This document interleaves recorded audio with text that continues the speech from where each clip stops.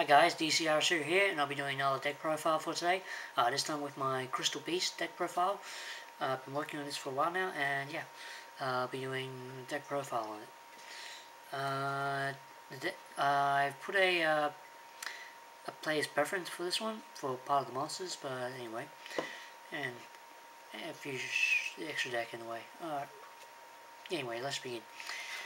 Uh, for Crystal Beast, I run free Sapphire Pegasus for uh, searching to get rid of the, your uh, Crystal Beast.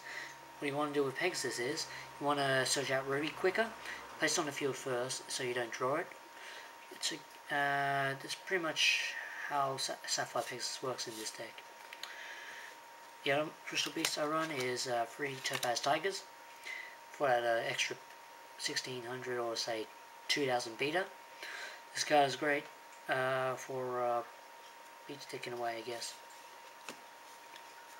As for the other Crystal Beasts, I run two Mammoth for that uh, guidance of the attack, and also a good Crystal Beast. Good 1700 beater in a way. And the last two Crystal Beasts I run is two Rubies, because uh, you want Ruby well, basically you run about two in this deck because uh, Ruby's effect is allows you to special summon other crystal beasts from your spell and trap card zone if you special summon this. Uh, two is good, three is a bit cramped, so I'd run about two. As for tuners, I run uh, two Genex Ally Birdman. This card's great uh, when you're uh, combining it with uh, Pegasus because when you return Pegasus to hand, you can use Pegasus effect, effect again by normal summoning it once again and then ditching out another Crystal Beast. It's really good and also gains 500 attack if you use it if you use a Wind type, and it's good level three uh, ranked uh, level three tuner monster. Also run one Scrap Beast for that level seven or eight type of synchro, I guess. It's good since it's level four and can easily be brought back by another monstrous effect, which I will explain in, in the extra deck. I run two Thunder Kings for that draw power, well, disabling draw power, because you don't really draw much in this deck, uh, add much to the deck. The only thing you have to worry about is by getting uh, Rainbow Ruins and uh, but anyway, I run Pot of Dualities in this, just to let you know. Uh, I run one Summoner Monk. I don't run two because it's a bit cramped. Uh, I run, because you don't want to dead draw another Summon Monk, so I generally run just one.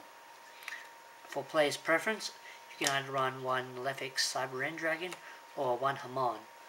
Uh, either one will do, depending on which one you own.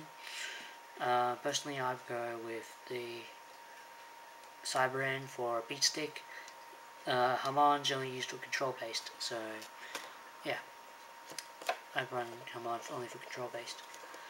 As for the spells, I run Free Rainbow Ruins, a, basically a broken card for any Crystal Beast player. Its effects work for each uh, number of Crystal Beasts you have in your spell trap card zone. So yeah, it's really broken in a way. I also run about two terraformings. I thought one was enough, but two is actually quite good. Because you want to get out, search out that ancient city quicker. So yeah. I run about two terraformings, not just one. Because you need it out ASAP.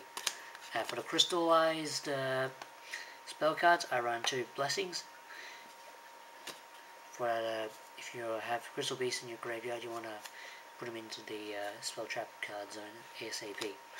Also run two blessing for that uh, special summon power. If you control two uh, crystal beasts in your spell trap card area, you can special summon another one.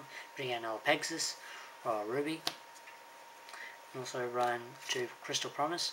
If you have Crystal Beast in your spell trap card zone, you can use this uh, to uh, basically bring out Ruby and special summon the other Crystal Beasts in your spell trap card area.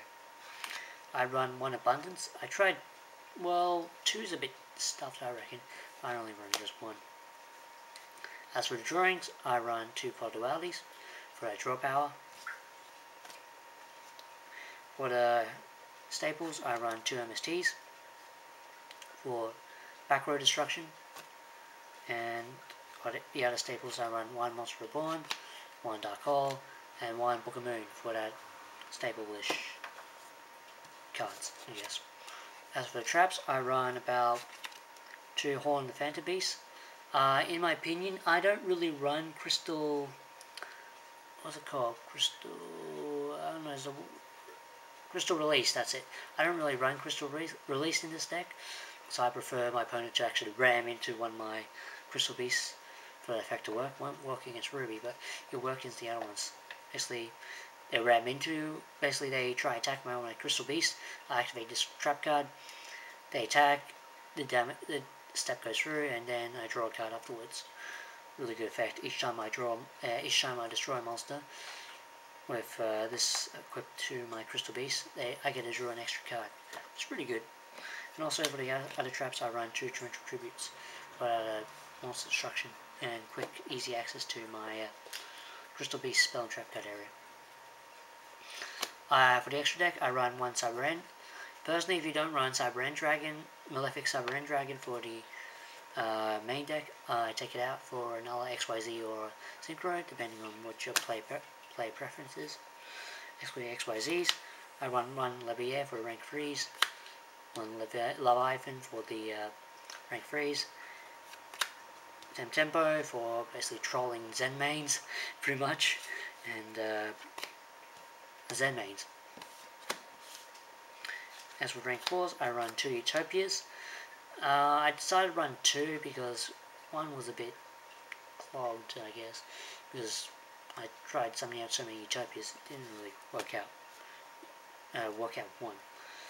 Uh, the other rank was I run one Shockmaster, uh, one Photon Papilloperative, Papilloperative, and one Maestro for that uh, rank 4 defense and control. As for the synchros, I run one Gravity Warrior for rank for level 6. For level 7s, I run one Zen uh, Zeman, the Ape, actually two Zeman, Ape King, sorry. And for uh, level 8, I run one Stardust and one uh, Scrap Dragon. Scrap Dragon has a nice effect if you're using it in combined with uh, Ancient City Rainbow Ruins. All you gotta do is have Ruins and a Crystal Beast in your spell trap card area. Use a Scrap Dragon's effect to target your uh, Rainbow Ruins and one of your opponent's monsters or cards on the field. Destroy them, but the thing is, with Ruins, Ruins can't be destroyed because it has uh, a Crystal Beast in the spell trap card area. So basically it's a free, uh, free MST, I guess, or card destruction. Card destruction? No. Basically it, pop, it pops the field, it pops your opponent's field, I guess. Uh, so yeah, that's my Crystal Beast deck. I hope you enjoyed it. Uh, rate, comment, subscribe, and tell me what you think of this competitive uh, Crystal Beast deck. See you in my next videos. Bye.